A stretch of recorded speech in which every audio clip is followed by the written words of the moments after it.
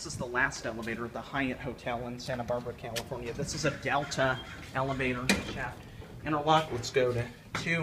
This one is a Delta with that car call. Oh god, this one's very dim. Going up. Capacity 2,500.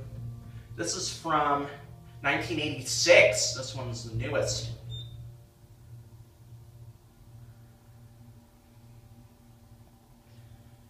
This is a dim elevator. Very dim. Ooh, very slow leveling. No, no, no. I don't want to get out. Ooh, go close when you press the button. I like that indicator.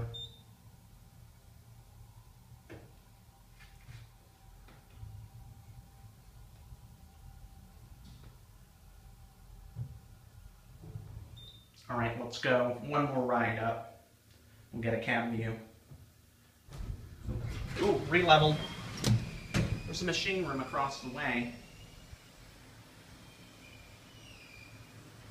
This elevator's on a weird elevation, very weird. And it could have been made of glass from this side. Ridiculous that they didn't make it glass when there's an ocean right there. Cab view. This one is nice, but it's just way too dark.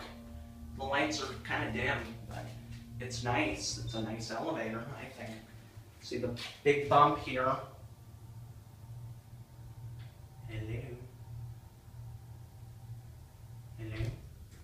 Oh, that was not that big of a bump. Door operator's a failure. There we go. But it pre- closes when you press the button, so I can't complain.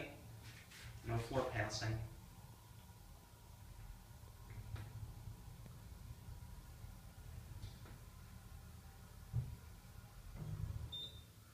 There's floor passing. Weird it doesn't work on one. Basic ERM fixtures. Ooh, big bump, re-level. Shaft, yeah, Leck. See that hall station there with the car call? This was a Delta. This was not a Dover. There's no Dover glue whatsoever. It was a Delta. I don't know why the rest are Dover. This is a Delta. It's your basic GAL Delta indicators. That's it.